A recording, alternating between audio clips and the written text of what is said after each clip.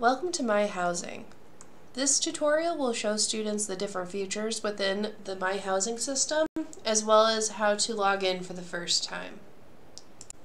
This is My Housing. This is the student's portal for everything related to their housing assignment at the University of Connecticut.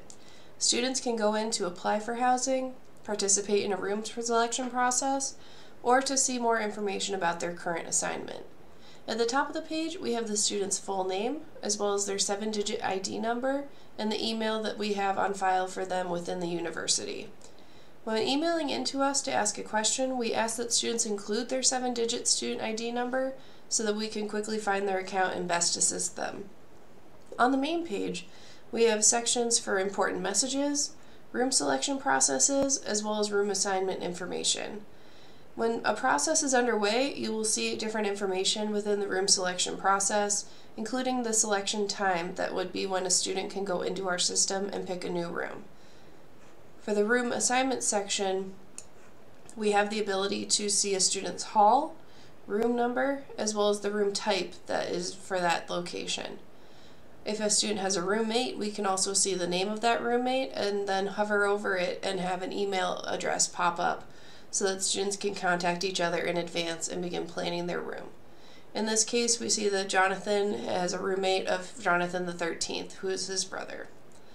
On the right hand side, we have the ability to toggle between past or future terms so that students can see their assignment if it changes from one semester to another. In this case, in spring 2018, Jonathan the 14th was in a single before moving to fall 2018 when he decided to live with his brother. On the right hand side, we have information about upcoming processes as well as reminders for students so that they can stay up to date and prepared to participate in each process. At the bottom, we do have an area about errors, so if you have an issue accessing a form or navigating through My Housing, we ask that you email into us so that we can best assist you in gaining the access that you need.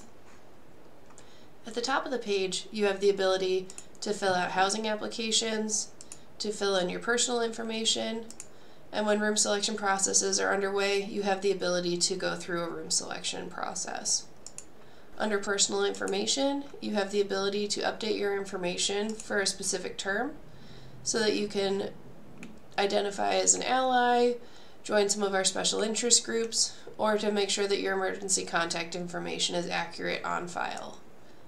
You also have the ability to edit a roommate profile if you would like for students to be able to find you in a system so that you could potentially pair together as roommates.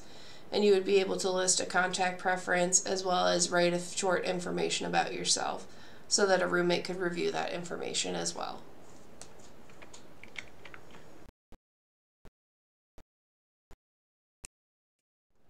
In order to access My Housing, you're going to go to our main website, which is https reslife.uconn.edu.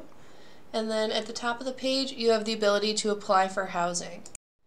Once you click onto that page, you'll see that you can go to Apply Online and My Housing, and there is a button there that lets you log in.